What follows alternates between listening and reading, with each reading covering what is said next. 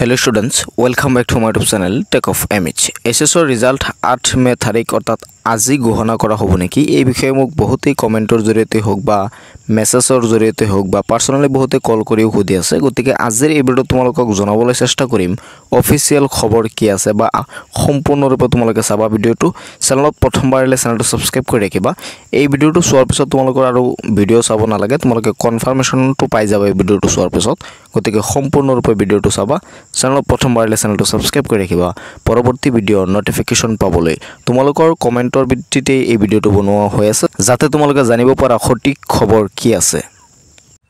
H এছৰ result check কৰিবলৈ হ'লে তোমালোকে এটা এপ প্লে' ষ্ট'ৰৰ পৰা ডাউনলোড কৰি ল'ব পাৰা। তোমালোকে আহি চাৰ্চ কৰি দিবা আছাম টুৱেলভ ৰিজাল্ট বুলি টু থাউজেণ্ড টুৱেণ্টি ফ'ৰ বুলি তোমালোকে প্লে' ষ্ট'ৰত যদি আহি চাৰ্চ কৰা এটা এপ পাই যাবা তোমালোকে। ইয়াত হয়তো দেখা পাইছা। এইটো তোমালোকে কি কৰি ল'বা? ইনষ্টল কৰি ল'বা মোবাইলত ইনষ্টল কৰাৰ পাছত তোমালোকে কি কৰিব লাগিব? মই তোমালোকক দেখুৱাই দি আছোঁ।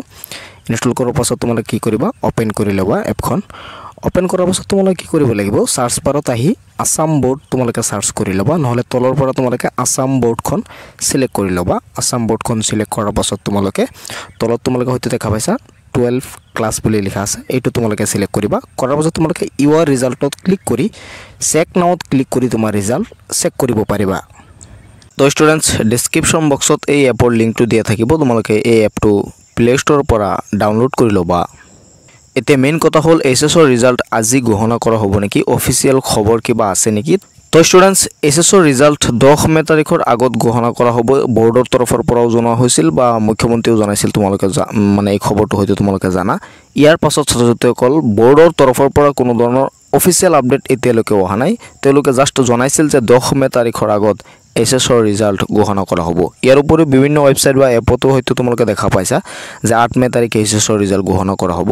এইকেইটা হ'ল আনঅফিচিয়েল আৰু আৰু অফিচিয়েলি এতিয়ালৈকে ডিক্লেয়াৰ হোৱা নাই যে আঠ মে' তাৰিখে এইচ এছৰ ৰিজাল্ট ঘোষণা কৰা হ'ব।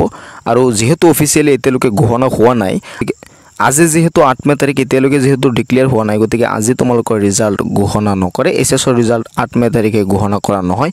এইচ এছৰ ৰিজাল্ট দহ মে' তাৰিখৰ ভিতৰত ঘোষণা কৰা হ'ব বুলি তোমালোকক জনাইছিল।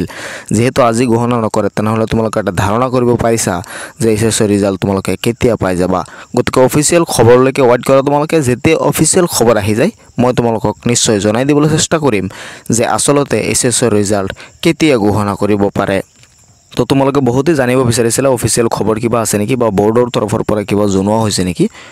তো মই জনাই দিছোঁ তোমালোকক যে অফিচিয়েলি এতিয়ালৈকে এটা ডেট নিৰ্ধাৰিত তেওঁলোকে কৰা নাই। অতি সোনকালে তোমালোকে পাই যাবা। যিহেতু দহ মে' তাৰিখৰ ভিতৰত তোমালোকৰ ৰিজাল্ট ঘোষণা কৰা হ'ব, গতিকে টেনশ্যন কৰিব নালাগে। আজিৰ দিনটো ৱেইট কৰি দিয়া, তোমালোকে ৰিজাল্ট অতি সোনকালে পাই যাবা। ভিডিঅ'টো শ্বেয়াৰ কৰি দিয়া যাতে সকলোৱে চাব পাৰে। অফিচিয়েলি যেতিয়া ডিক্লেয়াৰ হৈ যায়, মই তোমালোকক প্ৰথমতে জনাম। তাৰ বাবে চেনেলটো ছাবস্ক্ৰাইব কৰি ৰাখিবা।